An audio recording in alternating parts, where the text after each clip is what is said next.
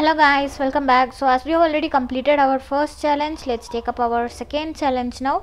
So for that once if you launch your playground search for matching rule in quick find and click on the result followed by new rule. So for this object i'm just going to choose contact followed by next. Let's copy our rule name from our challenge and paste it over here. And unique name would be auto populated if you scroll down in field we are going to give email followed by Exact. By default it has taken. So for the second field we are just going to give first name. And for matching method i'm just going to give first name.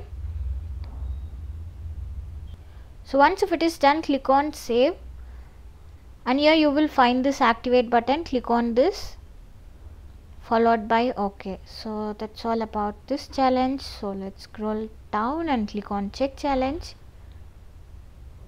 So yeah guys we have successfully completed this all challenges. If you find this video useful do subscribe to our channel. See you all on next video. Until then bye bye